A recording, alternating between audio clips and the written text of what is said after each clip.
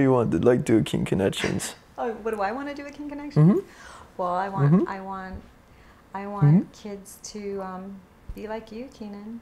All right. Have yeah, have a good job and and have the confidence to to get out there in the world Mm. and learn their gifts and and have the right support so that they can have a good chance at life like you are. like Okay. you have. Yep.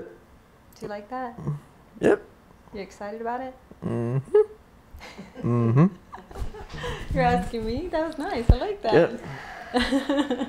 Yes. You're, you're, you have a new role as interviewer. I know. Yes. You're the host.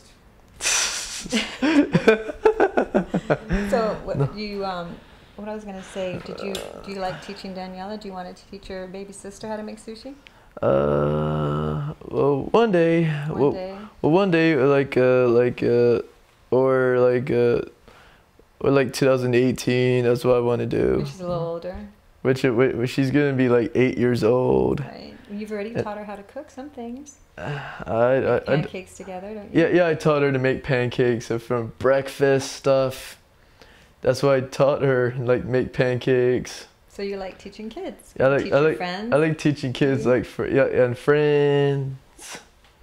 Yeah, and like uh, like yeah. What else? For, What about when um, our friends came over, Maxine and her friend, her oh yeah, you taught your friends to do it, And you were teach. And what about when you teach Sean how to make sushi? and I taught Sean to make sushi good. I Taught him. I taught him well.